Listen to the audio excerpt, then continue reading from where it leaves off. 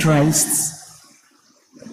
In the name of the Father, and of the Son, and of the Holy Spirit, Amen. the harvest is great. There's abundance in the harvest, fruitful, generous, and overflowing. We will be filled and satisfied with the light. Yes, we are confident. We have a problem, the laborers are few. But it is a happy problem because it is a positive problem. Someone planted ahead of us, someone nourished before us, and we are enjoying harvest time. Masaya po tayo dahil kahit kulang yung mga umaani, ang gusto lang sabihin, maraming bunga, maraming inaani. And uh, somebody planted before us.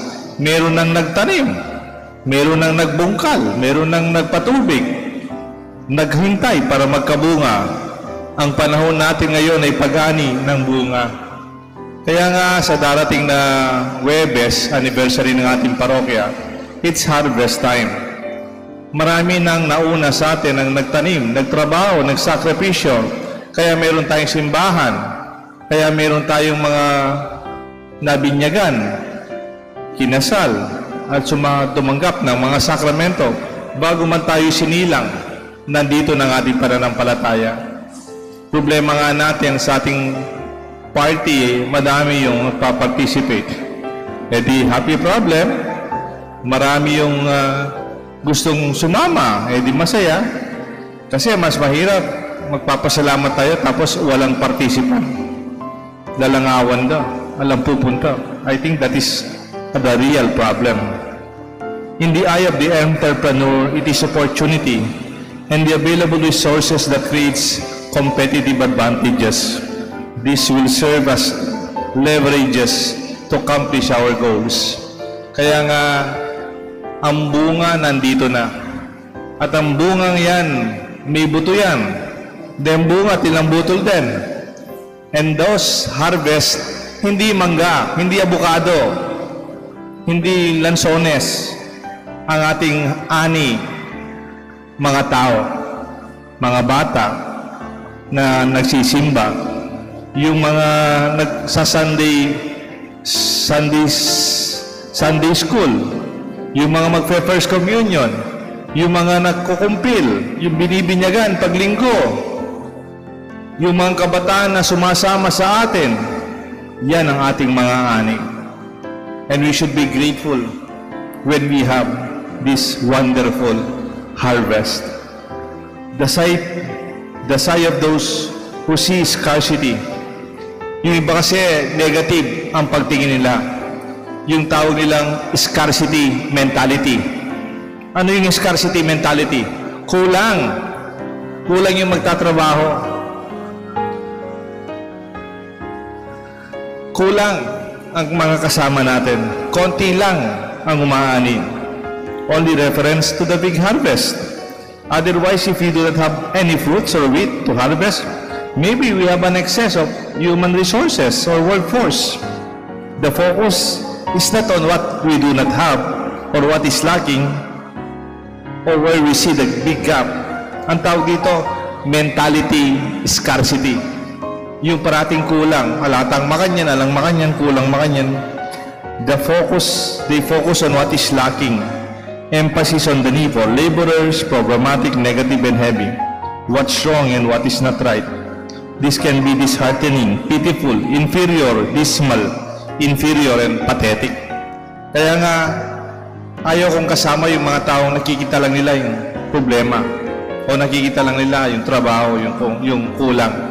Kailangan parati tayong nakatingin kung ano yung meron, kung ano yung masagana, kung anong nandyan.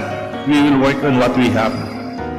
Sabi nga nung isang ah, general na kinakatakutan ng mga Romano, pangalan niya General Hannibal Barca. Sabi, sir, hindi po natin kayang pasukan yung Roma kasi walang daan. There's no way. Sinara nila yung daan, sinunog yung mga sinunog yung mga bridges, yung mga tulay, sinira yung kanilang ah, kaharian. Ah, it was reinforced with uh, with more fences. hindi po tayo pwedeng pumasok sa Roma. Nakabarikada. Sabi ni General Hannibal Barca, if there is no way, we will make one.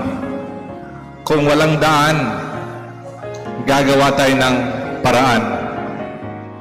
Hannibal Barca was renowned as a general and statesman. He was known for his skill as a commander and contributed to the army. And he was born in 247 BC. And uh, he was also the chief of the Carthaginian army, whom the mighty Romans feared before the fall of Rome. On the other side of the problem could be see the reverse perspective. The laborers are so many, and yet we don't have any harvest. That is hunger. That is forte- uh, shortage. Pwede nating ibaligtad ang problema. Ang daming nagtatrabaho, walang ani, walang bunga. Magugutom tayo.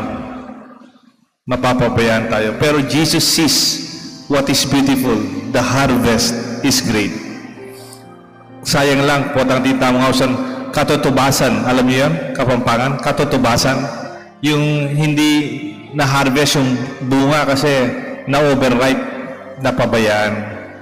Meron isang approach sa planning, tawag nila appreciative inquiry. An approach to planning and management that works. Ang tanong lang doon, what do we have? What do we do best? What are our strengths? What are the opportunities that we have? That is appreciative inquiry. Anong meron natin? Marami tayong kabataan. Anong meron natin? Maraming ating mga charismatic members. Marami. Ano pang meron natin? Maraming taga-sapang bato, Marco, Deca. Naghihintay lang silang lapitan natin para makapagsimba o tumanggap ng sakramento. Appreciate your loved ones without trying to fix them. Kung anong meron natin, magpasalamat tayo sa Diyos. Because what you speak is what you become. The harvest is indeed great. Magpasalamat tayo sa Diyos sa ani. Sa kala ng Ama, ng Anak, ng Banal na Espiritu, Amen.